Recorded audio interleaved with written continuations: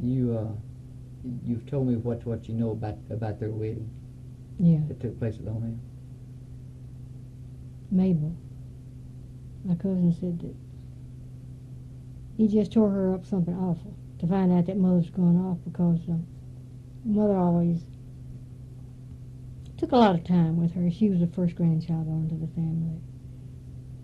I think Mabel got out on the floor and just did a good bit of kicking and screaming that morning, but she got over it and she told me how pretty mother looked with her white dress with lace and ruffles.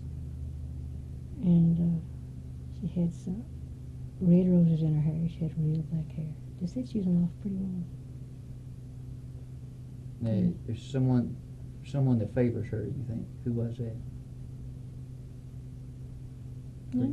Pretty said that, that Karen looked like. Yeah, I think Karen does um, lot.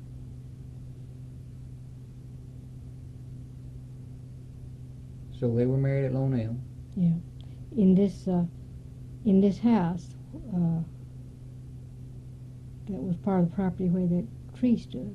Uh, and that old house is still there, but you can't see it for the honeysuckle, and the old fence is wrapped up in it. So this is now this is uh, the first part of November of '77. So that old house would be probably very near hundred. Yeah, anyway. I've uh, heard them talk so much about the little village up there, how it was. I wish I could have seen it. Of course, that was just before my time. Good families there. Some of the best in the county lived in that community. The McCalls were just, in my estimation, about number one. Regarded highly. They're all gone. There's not a McCall in Lexington or Henderson County. The men, my grandmother's brothers, all all left. They went to cities named. They made the professional men. They were highly regarded too.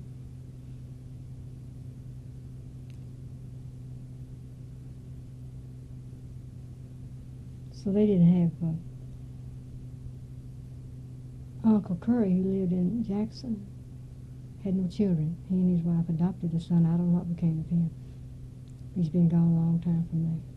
He operated a men's clothing store. Uncle George, John A's father, operated one such store in Lexington.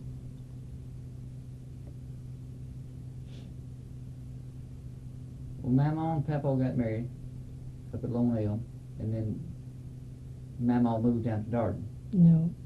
At that time, he'd been transferred to Hardin, Kentucky, to the depot there. So mo- they thought mother was going to Europe when she married him and went there. They were there a couple of years. He was born there when he got a chance to come to Parsons. Of Parsons was in his infancy then. He was uh, he was the first mayor of Parsons and uh, about the second man to work his depot agent there. He did a lot for that town. Where did he learn uh, telegraphy? Hollow Rock, I think. He always just went to a depot and studied under the telegrapher that was there.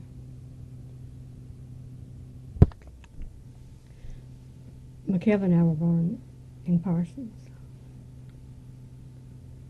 And uh, when I was about 14. We had the big depression, the crash is called. And Daddy got in a bad way financially. He'd made some bad investments. So he decided just to leave Parsons and go down to Obion County and start farming. And we lived there until 33. Hugh and McCabe worked in the factories there. And then uh, we moved back to Chesterfield in uh, 33.